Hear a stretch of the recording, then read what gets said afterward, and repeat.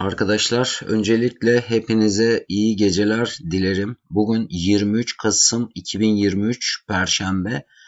Ee, Borsa İstanbul e, BIST 100 endeksimiz bugün ne yaptı, yarın ne yapabilir onu bir inceleyelim, bir analiz edelim. Ee, yarınki kararlarımızı şimdiden vermiş olalım. E, bugünkü analizimize başlamadan önce kanalımıza abone olalım, beğen paylaş yapalım, bildirim zilimizi açalım ve hiç vakit kaybetmeden bugün e, Borsa 100 endeksi neler yaptı onu bir inceleyelim. Şimdi Borsa 100 endeksi bugün %1,11 e, eksi kapanış yaptı ve 103 milyarlık günlük işlem hacmi yaptı. Fakat e, şöyle bir şey var. Bunun sebebi ne olabilir? Neden düşmüş olabilir bugün borsa? Bugün biliyorsunuz e, Merkez Bankası faiz e, artırım kararını açıkladı. Genel olarak işte finans kuruluşları yüzde iki buçukluk yani 5-5 gitti ya faizler. Merkez Bankası'nın faiz artırımları 5-5 gitti.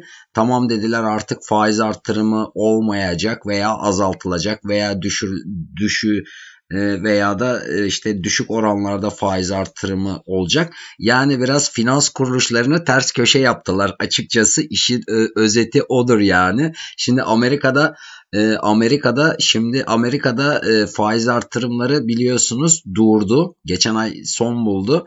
Şimdi Türkiye'de de faiz artırımları faiz artırımları e, dediler ki azaltılacak. E, bütün e, finans kuruluşları ona göre şey yaptı. E, yani öngörü yaptılar. yüzde iki buçuk artar falan. yüzde sekseni yüzde iki buçuk bekliyordu. Bugün faiz artırımı tekrar yüzde beş geldi Merkez Bankası'ndan. E tabi şimdi borsada iki çeşit yatırımcı var. Hem faizle para faizle ilgilenen kesimler var. Hem de e, hem de ne var? Diğer taraftan e, şey var borsa ile ilgilenen bir de faizi e, böyle göz ucuyla takip eden birçok yatırımcı var. Aman efendim faizler yükseldi sat hisse senetlerini e, nakite dön hadi bakalım şeye geç, faize geç. Yani bunlar borsacı değildir. Yani bunlar borsacı değildir. Bunlar borsanın şaklabanlarıdır. Bir gün faize geçerler, bir gün altına geçerler, bir gün borsaya geçerler. İyi siz geçin Yarın yarın biz size elimizdeki hisse senetlerini yüzde 3 tavan 4 tavan yukarıdan satacağız. Siz rahat olun yani siz rahat olun hiç e, biz çok rahatız. İstediğiniz daha yani borsadaki hisselerini satacak e, satıp faize geçecek olanlar varsa lütfen yarın da satın.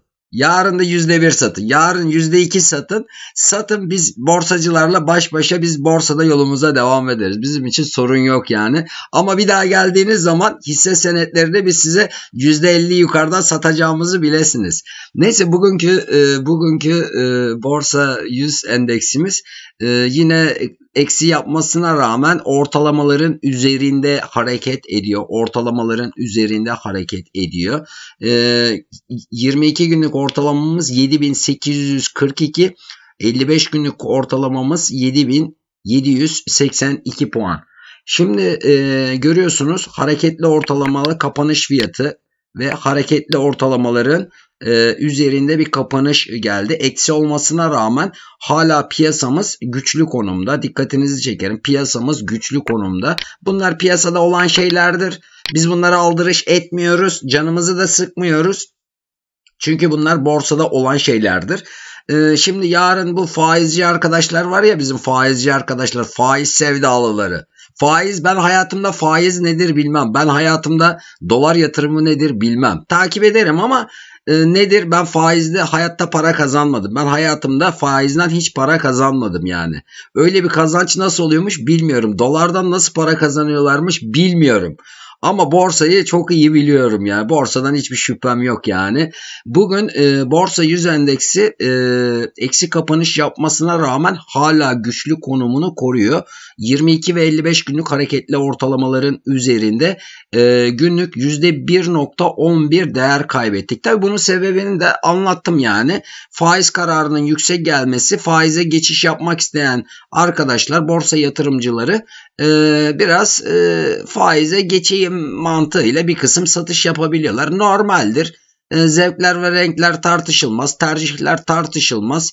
E, kimi siyahı sever, kimi beyazı sever, kimi yeşili sever bilemeyiz yani. Kimi de faizi sever, kimi de bizim gibi borsayı sever. E, neyse borsamız hala güçlü konumda. E, yarın sabah bir kısım daha satış görebiliriz. E, satış görsek de ortalamaların üzerinde kaldığımız sürece korkulacak bir durum yoktur. E, bir kısım daha de, destek noktalarımızı bilmemizde fayda vardır. E, şimdi Burası tam destek konumunda sabah artı açılış bile görebiliriz. Dikkatinizi çekerim. Sözlerime çok dikkat ediniz. Yarın sabah borsa endeksinde artı açılış görebiliriz. Çünkü kapanış fiyatımız tam destek noktasında. Ee, akşamüstü gelen satışlar yarın sabah alıcı olarak e, karşılanabilir. Neden derseniz e, borsa kapanışımız tamamen tam olarak e, pardon destek noktası üzerinde kapanmış olup hala güçlü konumdadır. Varsayalım ki yanıldık. Sabahleyin biraz daha satışların devam ettiğini düşünürsek nereye kadar e, düşebilir? Şurada hemen alt kısımda küçük bir e, şey noktamız var. Destek noktamız var. E, orası da 7000 e, net rakam vermeye çalışıyorum. Kuruş kuruş olsun. 7827 7827 destek noktamız aşağıya doğru kırılıp kapanış gelmediği sürece hala borsamız e, güçlü konumdadır. Altını çizerek söylüyorum. Borsa endeksimiz güçlü konumdadır. Şu satışlara rağmen kesinlikle korkulacak bir durum yoktur. Yarın sabah artı açılış bekliyorum. Yarın sabah artı açılış bekliyorum. Ee, yanılırsak ufak bir satış gelirse destek noktamız 7827 7827 destek noktasından e, gün içinde biraz satış gelir ve gün içinden alımlarla tekrar yukarıya çıkma ihtimali var. Çünkü bugünkü düşüşün e, sebebi Faizde piyasalar e, finans kuruluşları Türkiye'de ben takip ediyordum. Genelde %60-70 çoğunluk oranı %2,5'luk yani %35'ten yüzde 37,5'a faiz artırışı bekliyordu. %30 %40'ı yine %5 e, artış bekliyordu. %5 gerçekleşti. Tabi faizler yükseldikçe borsada e, ki yatırımcıların bazı bazı e, yatırımcılar e, hisse senetlerini satıp nakite geçip e, oradan banka faizlerini tercih ediyorlar. Tercih onlarındır. E, diyecek bir şeyimiz yoktur. E, ama borsa endeksimiz hala güçlü konumdadır e, ve bana göre hala borsada korkulacak e, bir durum yok. Korkulacak bir durum yok. Aksine şöyle güzel bir şey var. Şimdi faiz e, engeli ortadan kalktı. E, takip ediyorsunuz veya etmiyorsunuz bilmiyorum. E, savaş bölgesinden de olumlu sinyaller geliyor. İşte barış anlaşmaları, e, barış anlaşmaları, işte e, esir takasları falan yani Orta Doğu'dan savaşla ilgili yumuşak haberler geliyor. Bunlar hep olumlu haberlerdir. Olumlu haberlerdir. Borsa piyasa, sermaye piyasaları için olumlu haberlerdir. E, yani o yüzden ben borsayı hala güçlü görüyorum. Ee, bugün satanlar yarın hisse senetlerini %10 yukarıdan almak zorunda kalabilirsiniz. Onu da söyleyeyim yani bu arada. Yani bizim için fark etmez. Yani faizi satacak olanlar, faize geçiş yapacak olanlar lütfen yarın satın hisse senetlerinizi. Borsa endeksi %1 daha düşsün ama ikinci gelişinizde satmış olduğunuz hisse senetlerin aynısını biz size %30 %40 yukarıdan satarız. Yani bunu da kabul etmiş olacaksınız. Herkese iyi akşamlar dilerim. Ee, herkese iyi akşamlar dilerim. Ee, bugünkü borsa endeksi üzerinde söylemek istediklerim bu kadar. Yani satacak olanlar satsın, faize geçirsin parası parasını biz borsa sevdalarıyla borsa sevdalılarıyla biz yolumuza devam ederiz yani. Ama ikinci gelişinizde bilesiniz ki bugün satmış olduğunuz hisse senetlerini yarın biz size %20 %30 yukarıdan satmaya da hazırız yani. Herkese iyi akşamlar dilerim.